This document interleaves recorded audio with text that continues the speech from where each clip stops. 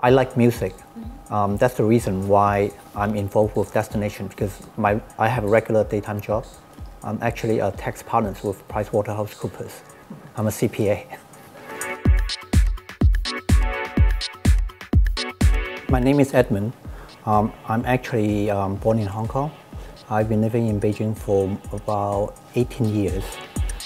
My friends and I and my boyfriend, we opened Destination about eight years ago. A few years ago, it's still difficult for um, people to travel abroad, um, going to those large parties. So we invite a lot of the um, well-known DJs in the um, gay community. DJ Paolo, Hector Fonseca, Ralphi Rosario, uh, Tony Moran, um, Tracy Young, they have all played at Destination. Our operation covers the whole building. Uh, on the third floor, we have art exhibition. Uh, the one you just saw is the third one that uh, we have done.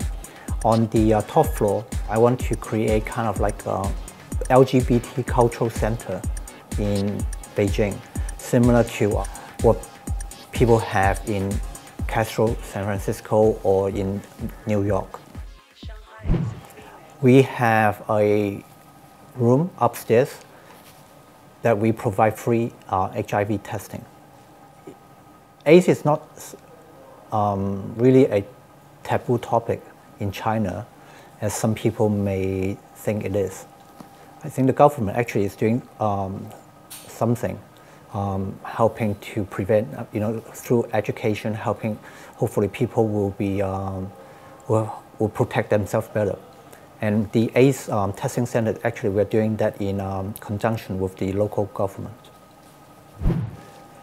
I think the uh, society in general, at least in Beijing, um, people are more um, receptive to LGBT.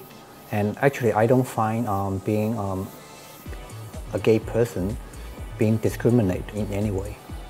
You probably find that Beijing, Shanghai are more open to gay LGBT than what I, um, someone from the US, Canada would anticipate.